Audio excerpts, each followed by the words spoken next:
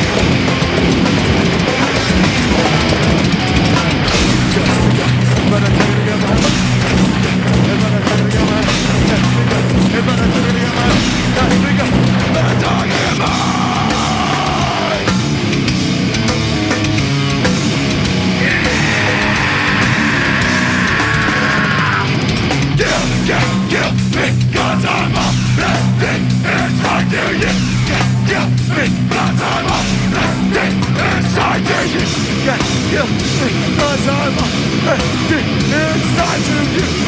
de notre Seigneur Jésus-Christ, qui vit et qui règne avec le Père et le Saint-Esprit.